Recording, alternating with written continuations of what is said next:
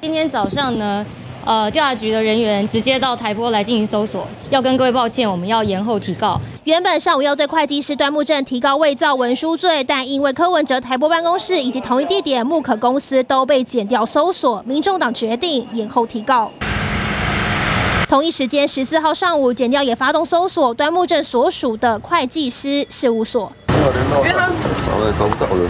隔空和端木正互杠，就是因为被曝漏报二零二四的申报资料。民众党直指端木正擅自调节差额约一千八百一十七万，将近两千万调成九笔申报。民众党说，端木正给的理由是时间来不及，包含被调节的石勒、尼奥以及木可公司，还有竞选团队都不知情。想好什么策略啊？干嘛？什么策略？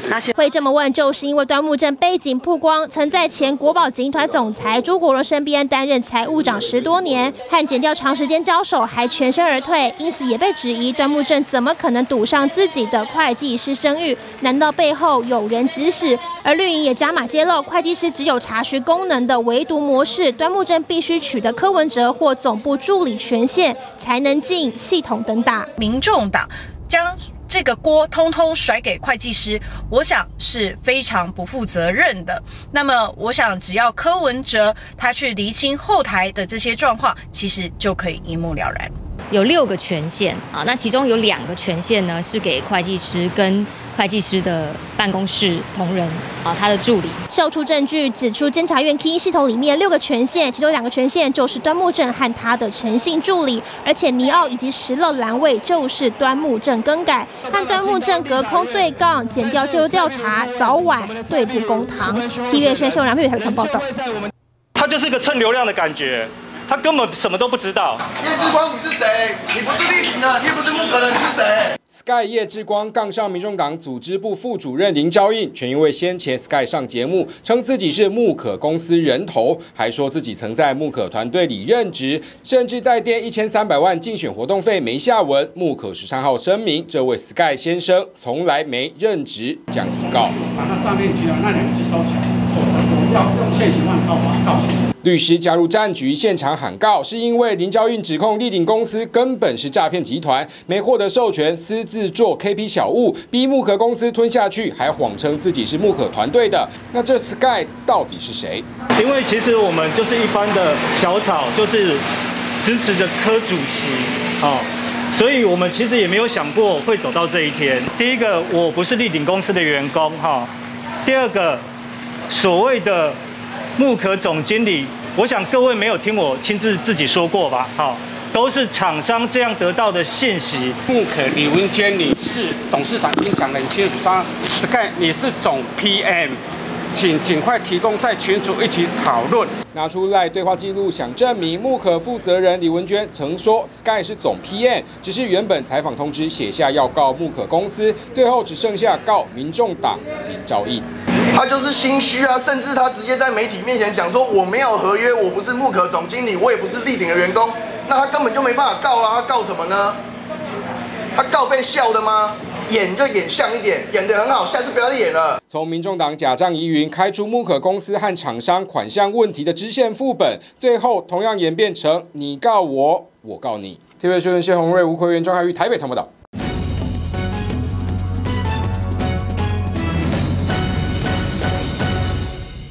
观众朋友们，午安！感谢你准时收看《新闻大白话》，我是主持人翟轩。马上欢迎一下这个阶段加入我们讨论来宾，公益人士郑村奇。大家好，台北市议员徐宏庭，主持人好，各位观众朋友大家好，资深媒体人陈慧文，大家平安。好，来关注现在这柯文哲的案子哦。那当然，昨天大家都看到了，出来开了这场记者会哦。但是疑点真的全部都厘清了吗？今天呢，还是有持续媒体去询问，因为他们昨天把所有的矛头指向了会计师哦，这个端木正哦。那人家就问到说，柯文哲会不会去跟端木正对质呢？我们来听听看柯文哲怎么回答。自己本人会想要亲自来跟他对峙吗？我们直接叫律师告他就好了。那冯珊珊跟李文忠，你认为需要党纪处分吗？主席，你觉得这风波会延烧多久？我觉得是民进党在政治追杀。主席，你觉得你会活着吗？对，所以这样的一个对话、哦，让这个柯文哲 感觉说这什么话，怎么会觉得还活着嘛？那为什么会这样子问呢？就是因为这件事情哦，可能真的会影响到接下来柯文哲的政治生命。首先，我们来看一下哦，这个昨天在下午的两点钟，民众党包含了柯文哲、陈志涵、黄珊珊、李文忠哦四人出来开了这场记者会，那说民众党清查有十七笔支出是漏报的，那这是因为这会计师端木正变异形式那第一阶段的审查总共有十五笔漏报，两笔误报的支出。那他们说原因是在于说这个端木镇时间来不及，然后自行把这些金额申报到木可。石勒、尼奥这三家公司哦，那也因为它的变异形式，所以就漏报金额大约是两千万元。哎，那为什么端木正不出席记者会呢？后来在下午的五点钟哦，端木正那边记他们就有声明啦，就说一切都是依法处置哦，一一切依法处理。那晚上的八点，陈志涵就发文了，他就说，其实哦，从这个他们的声明当中可以看出来，端木正会计师并未否认以上的事实哦。那可是。矛盾在于哪里呢？他又讲啊，因为像外界不是在质疑说，为什么端木正不一起出席嘛？说明清楚这样的一个状况，而不是说，哎，怎么最最重要的一个关键人物，这个端木正却没有出席？那陈志涵的讲法是说，哎，我们没有邀请端木正，是因为呢，不是让他在记者会有继续狡辩。哎，所以很奇怪啊，你上一个留言讲说。呃，他没有否认你们事实，代表说他们的说法也，他也承认错误喽。那结果在这边又说他会继续狡辩，那这样前后说法不是挺矛盾的吗？现在就引发了一些讨论。那再来看一看这个李文忠哦，就是在现场说啊，这个可能也要，呃，就是等于说他完全负起这个责任。他讲的是什么呢？了不起负责。那其实呢，你在那边讲说完全不知情，就是一个不负责任的一个态度啊。所以。感觉也是前后矛盾，我们来听一听。这个财务长没有做，财务部门没有做，没有尽到二次查核的责任，在这里我也要向支持者和合作的厂商鞠躬道歉。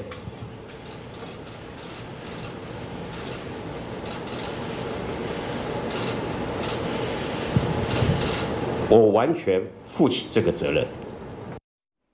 完全负起这个责任，究竟是真的会扛起责任，还是现在已经沦为一种话术、政治话术？就如同陈时中讲的，哎，我就是会了不起，我负责任嘛。那但是呢，事实上是如何呢？大家也都知道。所以现在大家来看呐，这感觉这个我们看到郑克爽这个粉砖，他提到了黄珊珊跟陈志涵把责任推给别人就没事了吗？账目不清的责任怎么会只有是会计师的责任？而且很多都已经过了半年之久，你们拿到账目的时候都没有稍微看一下吗？那现在外界也怀疑啊，这两个人也就是刚好破坏蓝白合的主要的关键人物哦。那当时那么不想要蓝白合作，会是为什么呢？因为我们看到这个旁边有一些关系图哦，哎，跟他们也有千丝万缕的这样的一个联系。我们等一会儿来看。所以现在人家讲说，会不会是为着什么样的一个呃背后的动机？然后当时你们破坏了蓝白河，现在开始有更多的阴谋论传出来了。那我们来看一下这个柯文哲哦，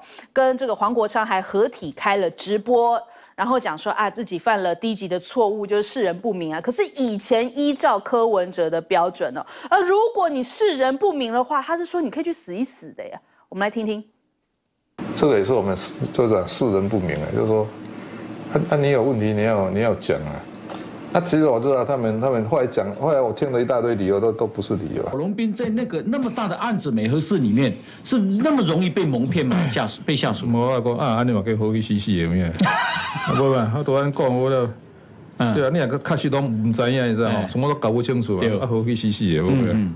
对，以前他的标准是说啊，伯利克西西啊，那但是现在自己也遇到了。呃，就是说是世人不明，所以我们看一下啊，现在同样的方式，过去这个民进党帮助柯文哲用五大案来打郝龙斌哦，现在呢，你看民进党可能比较亲绿的媒体也开始列出来柯文哲的五大案，金华城也好啦，或者是说北市科的地上权，还有政治现金不明，还有相信这个呃亲信主导木可公司这样竞选小物的事情，以及陈佩琪用儿子的名义来开公司，又有怎样这样的。五大案哦，所以昔日用五大案然后打败了对手，可是现在民进党又同样用了五大案，然后来打击柯文哲，哎，这个好像是一个政治轮回，又打到了自己的身上哦。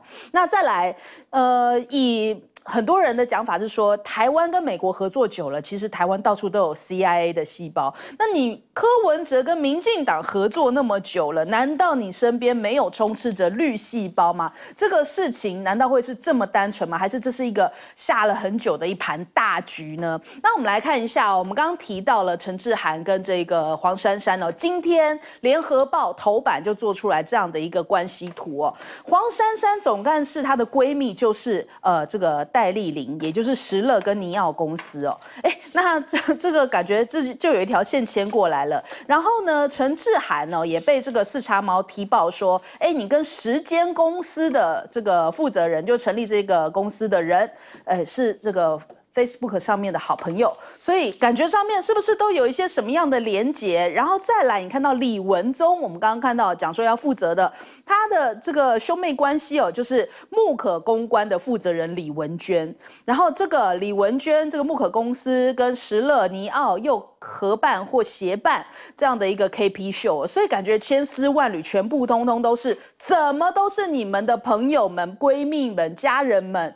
哎，这个牵涉到这样的公司里面去，让大家觉得说这事情真的很奇怪，很不单纯。那所以我们来看看哦，现在村长的讲法是说，你看哦，这个柯文哲哦，现在这个政治现金讲不清楚，会有哪一个会计师那么傻呀？推测最可能的真相哦，就是柯文哲幕僚团队有人 A 了这一笔钱，让柯文哲如同哑巴吃黄连，有苦说不出哦。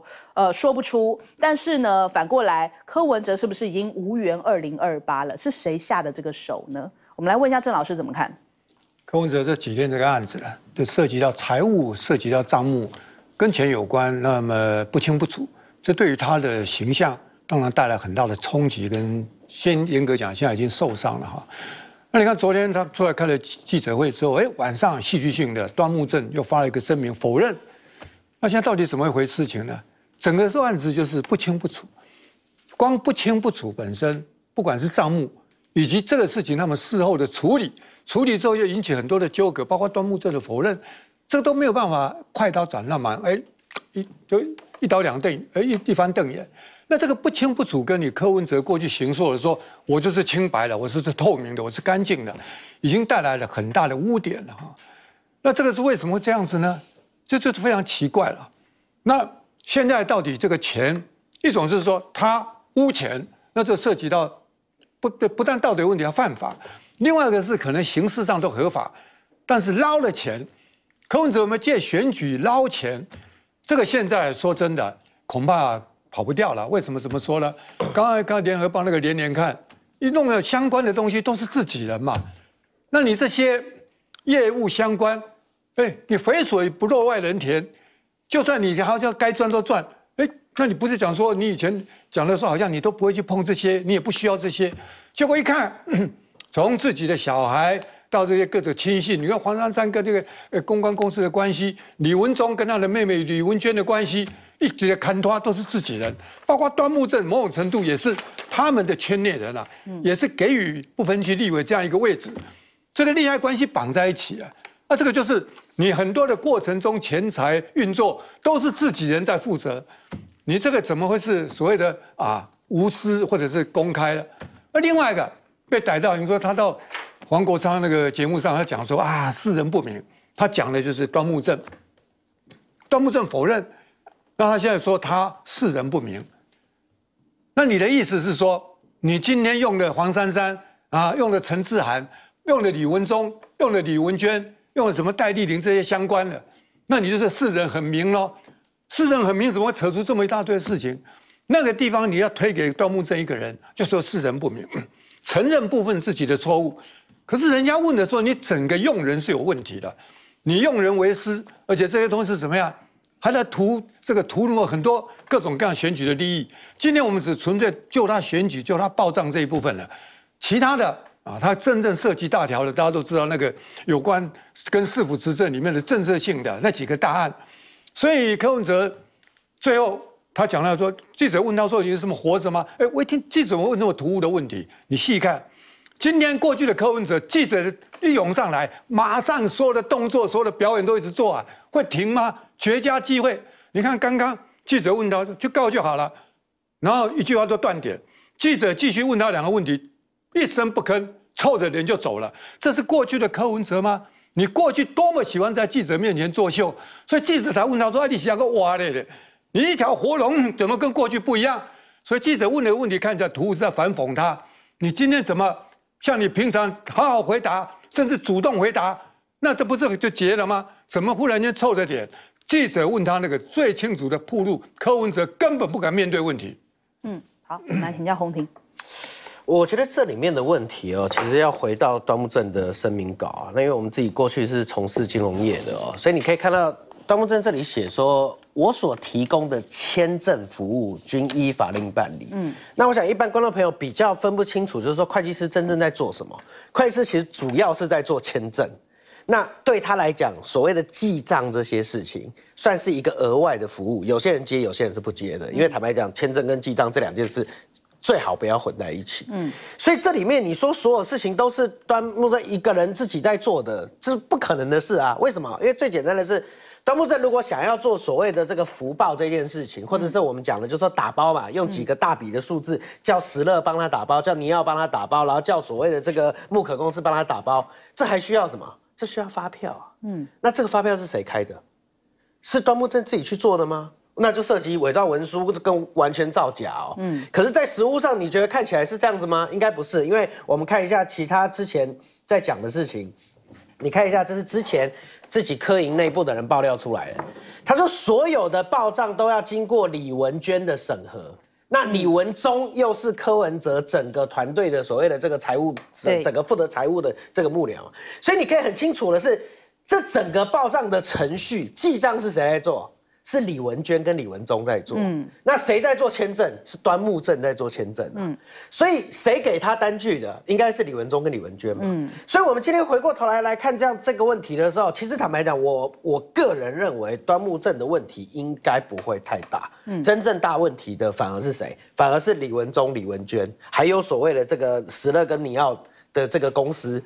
那跟这个公司很好的黄珊珊，应该是这三个人，因为单据是这三个人去提供出来的嘛。嗯，所以就是李文忠、李文忠、李文娟跟黄珊珊。对，所以你今天可以看得到最清楚的另外一件事是什么？今天如果从政治现金专户里面把钱转给穆可，然后呢，穆可收了这些钱，开了这个发票。嗯，那但他跟李文忠跟李文娟的关系是什么？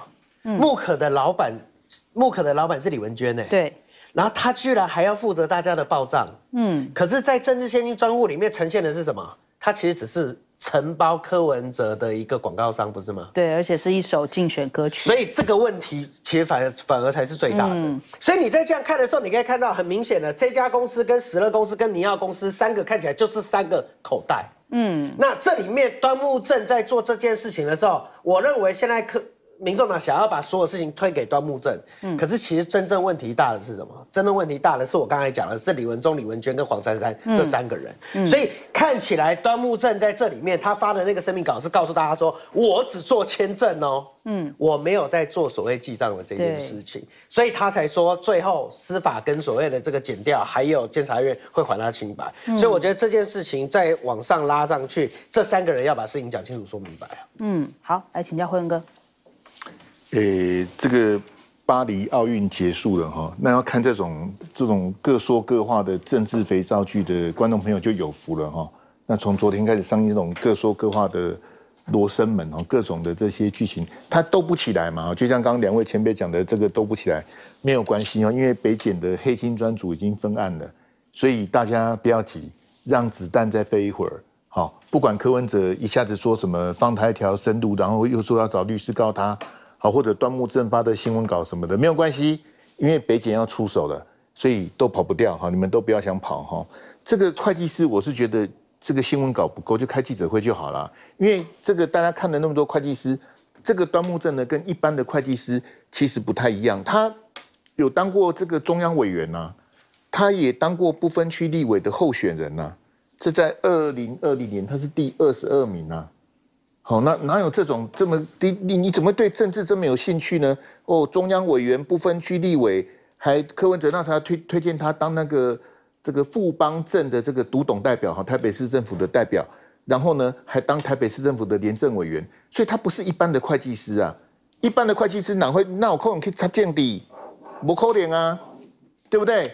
那你你赶快出来啊！还有人叫你发不知杀声明，这到底搞什么鬼啊？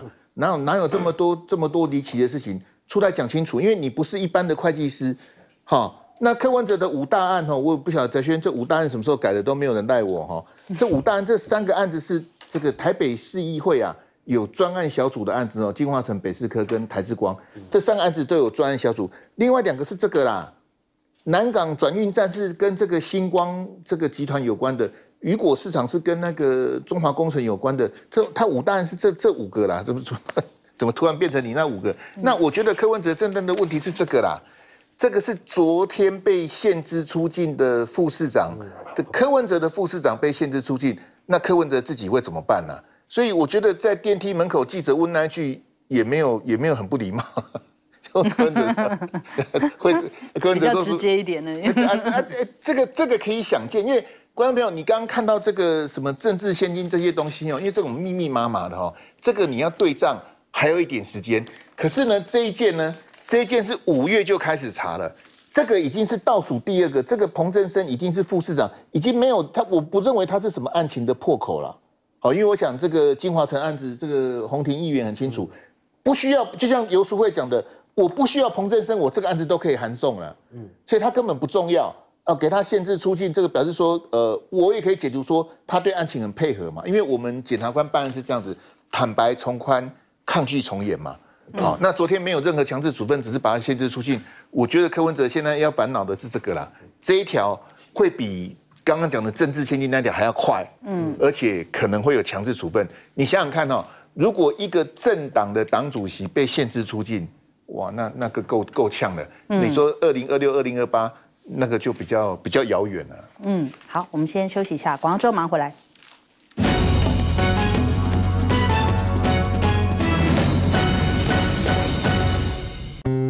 住的安全，活得平安，一人一点力，爱就大无限。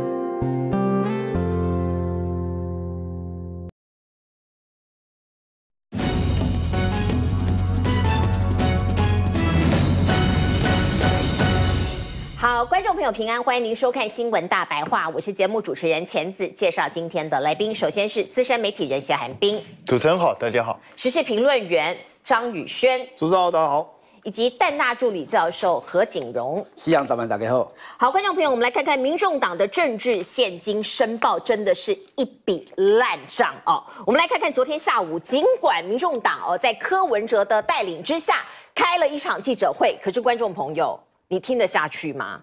有很多呃，这个有社会经验的朋友都告诉我说，这个太离谱了。柯文哲今天早上一早去上班，又被所有的媒体围堵。来听听看柯文哲怎么回应。主持人你自己本人会想要亲自来跟他对峙吗？我们直接叫律师告他就好了。但黄珊珊跟李文忠，你认为需要党纪处分吗？好了好了好了。所以现在又有传说剪掉，最近还有约谈，你会觉得又是在放消息吗？何必？主席，你觉得这风波会延烧多久？我觉得是民进党在正式追杀。主席，你觉得你会活着吗？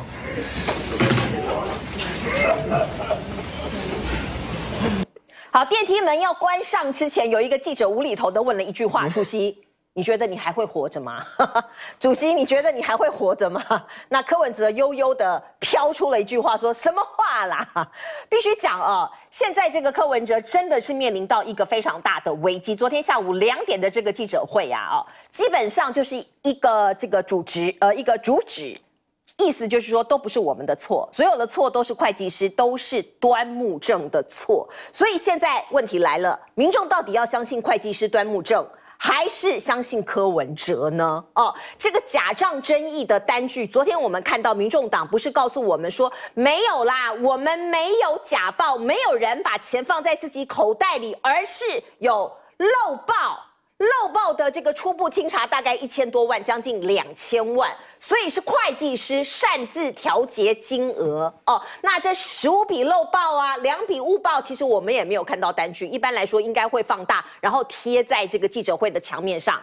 大家过去可能看到很多类似的这个记者会哦，包括新票案，各式各样。可是他没有这么做哦，只是说，哎呀，我们有这十五笔呀，我们都找出来了，而且今天还会继续找。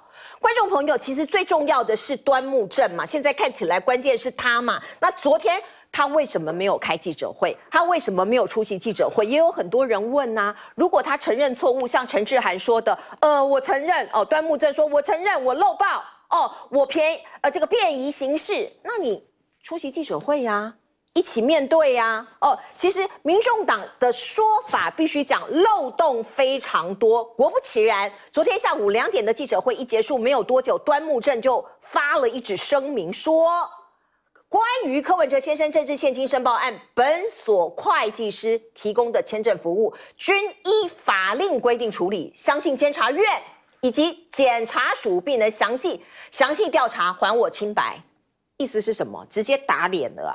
直接打脸了，才两个小时而已呀！哦，所以像是陈志涵讲的啊，说我们有查账啦，哈，那当时端木正哈在周末跟我们团队查账的时候，都有现场亲口承认。我就问你有没有录影录音？你口说无凭啊！哦，现在呢，你越说越多，疑点也越多。观众朋友，我们再来看看，包括柯文哲他有道歉呐。他说他道什么歉？他说我世人不明，用到天兵，好，我用到天兵，最低的底线，最低的底线来了。他说我没有拿钱。那他有一开始有讲，这昨天在这个跟黄国昌的直播的时候，他讲的。他说我一开始是想说，哈，是被会计师污钱，还是被财务部污钱？啊，会计师不就是端木正？财务部是谁？李文宗啊。哦，所以他有想到这一点哦，还是说这两个人联合污钱？好，我我觉得这个 这个是你世人不明啊，观众朋友，如果是柯文哲，他不是太笨，就是太聪明，就是太狡诈，他世人不明，世人不明有没有罪？是没有罪吗？哦，这个我们先看一下这个金句啦。昨天柯文哲的同窗好友兼财务长叫做李文宗，他不是有鞠躬道歉吗？他讲了一句金句啊，哦，惊世之句啊。他说：“我负责任的跟大家报告，我完全不知情。”这负什么责任？这个真的是本年度最大的政治金句之一啊。那我们再讲到哦，这个除了所谓的政治现金的报账疑云之外，柯文哲还有三大案缠身。那我们先倒回头来到二零一四年，当时一介政治素人的柯文哲医师可以变成我们首都市的市长，我们首都的市长是不是？呃，这个呃，这个民进党助他一臂之力，打的是五大案，那时候他打五大案嘛。那现在柯文哲哦，这个是前世，这是今生。柯文哲现在涉入了五大弊案。不就是很快的回力镖打在他自己身上吗？于是就有人有一个阴谋论的说法：，民进党当时把你送上去的是五大案，现在要把你拉下来的也是五大案。好，我们再来看看，包括这个所谓的石乐跟尼奥的负责人戴丽玲，她到底是谁？她跟这些政界人士有什么关系？有人说她是黄珊珊的密友啊，是闺蜜。可是她透过有人发声说，我不是山友友，也不是柯友友，我就是生意人。可是现在又有人说她跟蓝影的关系很好哦，众说纷纭呐哦。那我们再来看看，包括端木正呐哦，现在没有宋宗平会嘛哦。那有一些前幕僚又开始出来爆料啊，说柯文哲跟时间有特殊性关系啊，特殊性的关系，我不晓得他在讲什么。还有小牛啦，还有说什么现在有一个叫什么 Sky 的啦，哦，说这个 Sky 说他是这个呃，包括呃这个什么木可的前总经理啊，乱七八糟，总之一大堆前幕僚，柯文哲的以前的部署通通出来爆料，所以柯文哲这个人的人和相当有问题。他不会管理人吗？哦，你视人不清。过去柯文哲曾经讲过哦，哦，说批评郝龙郝龙斌说你视人不清哦，干脆死一死算了。那现在呢？我们来听听看，过去他怎么批评郝龙斌的。在那个那么大的案子美和事里面，是那么容易被蒙骗吗？下属被下属？我讲啊，安尼嘛可以好去死死的咩？不不，我都安讲我了。对啊，你两个确实都唔知影，你知道吗？什么都搞不清楚啊，好去死死的，不对？所以你对你的属下在搞什么你都不清楚。那你过去批评别人，那现在呢？现在呢？好，我们来问一下宇轩，宇轩怎么看？所以柯文哲的编号应该是七四一四啊，啊，这句话现在回应在他身上最适合嘛？因为我分几个层次哦，会计师他所负责的工作叫做签证。各位你知道签证是什么吗？就是我今天开一个会计师事务所，那我有我的记账室。签证就是说别人把比如说缴款单、提领单、汇款记录，然后呢对方的收据，他要一整套完整的，包括甚至是你到底是哪一个案件、哪一个专案使用到这笔钱。这些文件整理好之后丢给记账室，而且是每个礼拜都要缴交的。哦。这陈志远讲，这不是我讲的，每个礼拜都要交。然后整理完之后呢，记账室会把它干嘛？做分类。分类之后，一个案一个案到会计师桌上，会计师看了之后盖盖盖签证，认证说这个东西来就补没问题。那我这时候你知道陈志远描述的场景是什么吗？他说我们每个礼拜都给他。然后这时候呢，民众党不知道为什么少了好几笔发票，总共十七笔。但各位你知道最特别的是什么吗？他们总共有十八万笔的发票，对不对？这是他们自己讲的嘛。结果当中偏偏超过几十万的十七笔金额都不拢，然后小的都不会搞错，大的都搞错了。然后搞错之后呢，他们没有给这个会计师。那他到现在为止也没有跟我们解释说为什么当时发票没有给他，然后说这个会计师呢短出短意，自己呢这自作主张说好，那我来帮你改好了，我来帮你调节，我帮你把这个金额报到这边，这边报到这边去。那你觉得有这个可能性吗？因为你知道正常会计师会做什么吗？你漏报对不对？金额都不拢对不对？就是你进出项不不符嘛。你明明有花这些钱，但你没有单据嘛，会计师会把你退回说，哎，你东西少了。就他说什么有有有有，会计师有跟李文忠求救。各位，这不是求救哦，这是在欺骗大家。这种根本没有社会常识的人才会相信的话哦。因为如果说会计师今天你报账，他发现有假、有错、有误、有缺、有漏，他会干嘛？叫你重来啦！哎，什么？我跟你讲，说我赶快帮你弄，求救，救救我！李文忠，救救我！怎么可能？然后什么？李文忠跟他讲说，你自己看着办，没有这种事情的啦。再来第二件事情啊，我们刚才讲到了这么多人，各位你不要误会喽。出来咬的人叫谁？你要跟十二嘛？那你要跟十二，各位你去算一算，他跟从柯文哲那边捞了多少钱？也不少，嗯，上千万。办活动啦，啊对啊，木可也是嘛，啊木可我们就等下放着谈。十乐也是嘛，时间也是嘛，总共加起来几千万的钱哦。所以各位，我在讲这个概念是什么？当初这些人关系很好嘛，关系不好不会给他们赚的啦，你懂吗？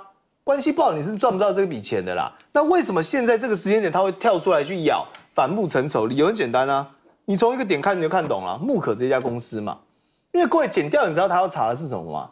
第一个木可，他就是要查木可，而且还不止查一件事情，他要查两件事。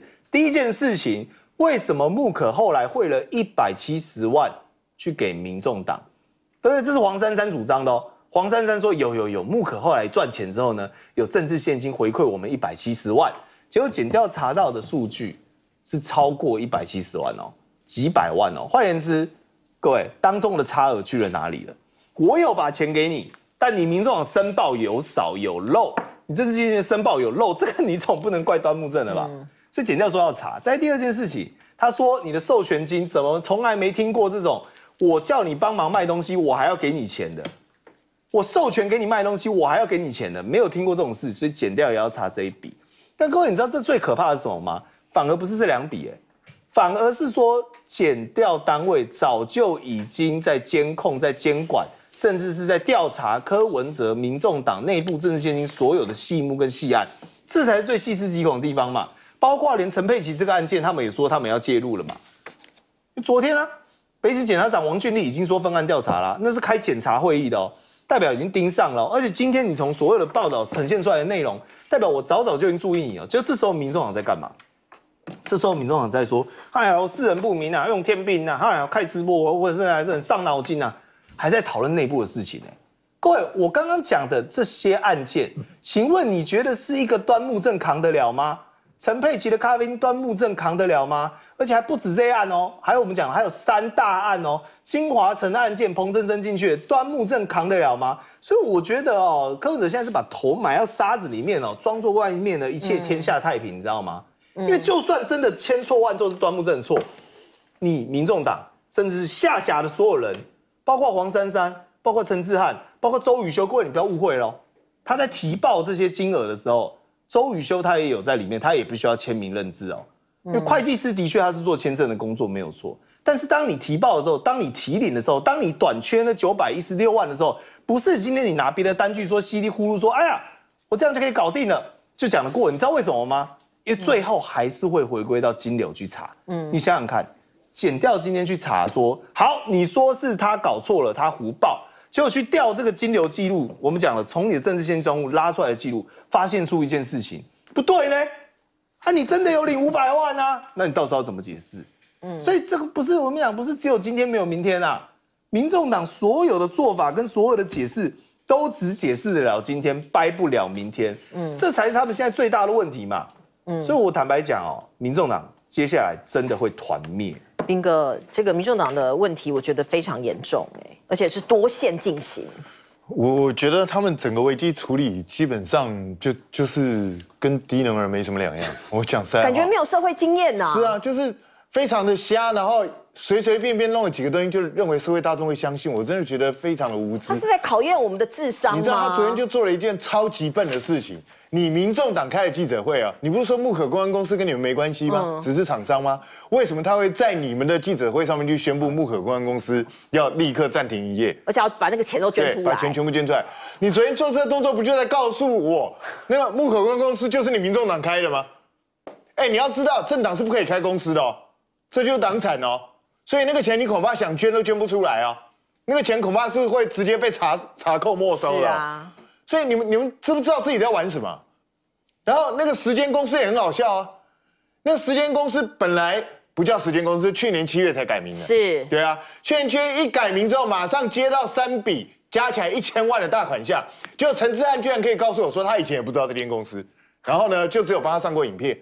你相信有这种事吗？一间从来没有干过这一类的公司，你突然之间就委托他上千万的交易？柯文哲是有钱到爆炸，是吧？而且看起来之后产出三部影片，对啊，所以三部影片就一千万，那个也太好赚了吧？是找什么明星拍的？我不知道，莫名其妙。然后你看昨天记者会的时候，他们有针对时间的问题解释吗？没有，完全没有。所以这个还不严重吗？好，他们现在说这一切都是端木正搞的鬼。嗯，我我老实讲了，我实在想不出来一个会计师为什么要因为你很赶时间，所以我就帮你做假账。是啊，我我实在想不通为什么会有这个理由。那当然，现在陈志汉他们说，我据说了，民众党人跟我讲说，他们当时有录音，就是哦有录音吗？有录音，有录音，就是端木正承认承认调节他调节，那拿出来啊！我觉得就把录音拿出来给大家听听听看看啊，看看到底是怎么回事啊。因为有的时候那个语义不一样的时候，恐怕就是不一样的。是，所以我我们也是要听到原话，到底发生什么事情。如果我觉得，因为这是周宇修上节目的时候讲说，他们当时有录音的，所以我我觉得，如果是这样的话，最好是公开这个录音。那柯文哲，你现在先不用去急着告端木正，因为检调已经开始在查，连监察院都跳下来查。那你要 你要说他是政治追杀吗？是。因为你什么时候看过检检察官动作这么快，监察院动作这么快？但是不要怪人家要政治追杀，谁叫你要做这种蠢事被人家追杀？真的，我讲实在话，这种事情一般一般政党碰都不会去碰了，因为这个很瞎嘛，嗯，一定会被查出来，因为这是要公告的资料，这不是说你可以藏着掖着的，所以我不知道为什么会做出这么离谱的事情。然后现在这个戴丽玲去跟那个黄珊珊切割了，是，可是问题是。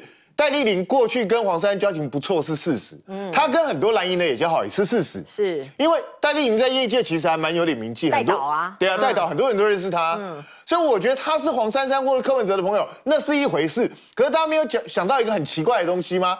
也就是他先打电话去给黄珊珊了，然后黄珊珊也黄珊昨天今天有发文哦，说他第一时间就通知党部了，党部去查账查不出来问题，那。请问一下，如果是查不出来问题的话，那为什么接下来戴丽玲会委托媒体人跟议员直接去爆料？为什么会做这样的事？大家不觉得很奇怪吗？正常的情况是，哎，你你报了不该报的账，我跟你是好朋友，我赶快叫你说，你回去查一下到底发生什么事了吧？结果不是，哎，结果是立刻选择找人爆料。嗯你们不觉得这整个操作非常的奇怪吗？完全不合常理。所以，我我必须说，这整件事情恐怕还没完。嗯，因为端木正他今天敢这样讲，大家不要忘记。端木正可不是一般的会计师哦，他是民众党党员，还当过中央委员，还当过部分区哦。你怎么知道他手上有什么东西？因为你们说你们手上有录音嘛，嗯，他手上有什么东西我还不知道。是这出戏还有的搞。是没有错。来，这个景荣老师以前也是民众党党员嘛，对不对？嗯，所以我看了，我觉得蛮替民众党难过的哦。昨天的记者会不但没有澄清大多数的疑虑，而且最主要的，它有一个最强烈的一个公关灾难，就是民众党的身份。哎，各位搞清楚哦，民众党在这里面的身份是一个受害者，疑似有人掏空，疑似有人侵占民众党的财产。这个掏空的人是不是石乐公司？是不是黄珊珊？我们还要另外一步一步的去查证。但是民众党是一个受害者，结果受害者的民众党竟然在现场帮疑似加害者石乐公司发声明哦，跟他说哦，石乐公司要解散要清查。哎，木可公司对不起，木可公司要要解散要清查。哎，听着他不觉得很奇怪吗？你今天李文忠那边告诉他说，哎，我们那个一千三百万授权不是授权，那个叫做管理费，我们哦。委托木可公司帮我们竞选总部卖那些小物哦，哎，如果真的是管理费，木可公司帮你卖小物，那事后获利盈余是不是要回捐或者给业主这个竞选总部，这才对嘛？哎，结果不是哦，昨天民众党就帮木可公司宣布哦，民众党说，哎，这木可公司要解散。哎，解散原因是什么？赚太多吗？三个月之内赚了几千万，财报这么好，要解散，然后要清查，还要把盈余捐出。哎，如果正常的一个团体，这时候应该要干什么？马上阻止啊，然后要求实呃要求这个木可公司，哎，不可以哦，我要跟法院申请哦，假扣押你的财产，因为为什么？那是我的盈余啊，要追回来啊，要捐也是我，民众党在捐嘛，怎么会是你呢？哦，另外一个我觉得很夸张一件事情哦。就是有很多人是觉得哦，如果是端木正哦，可能是真的。哎，我第一次看到记者会的时候，我也觉得好像端木正是被直接安上这个罪名。但是你回头看哦，昨天陈世涵说的话啊，他其实说端木正就是在竞选总部里面负责记账的那个人哦。所以今天有一个更大的问题，其实陈世涵已经讲出来了。端木正本身他不但，如果陈世涵说的是对的话。端木正本身不但在竞选总部里面记账，而且事后呢，黄珊珊还有民众党为了要哦满足那个政治献金法规定，超过一千万要呃呃要那个签证嘛，所以还把他送哦叫端木正球员兼裁判来做签证的工作哦，所以这目前来说，你去看端木正的声明说什么？其实端木正他没有否认他有在里面记账哦，端木正只说哦，关于这部分哦，签证部分，他的签证部分完全是哦，呃，合法合理等等，哎，他也没有否认他有在里面记账哦，所以是不是有一个很严重的问题是什么？一个人他同时兼任里面的记账。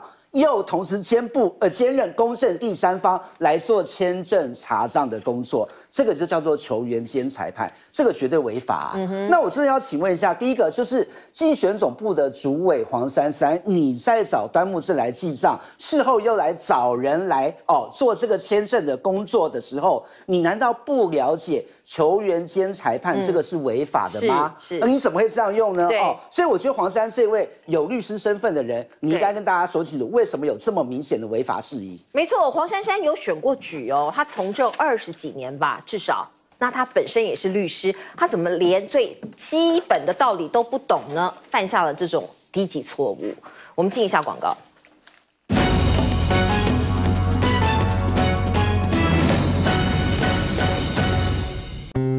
住得安全，活得平安，一人一点力，爱就大无限。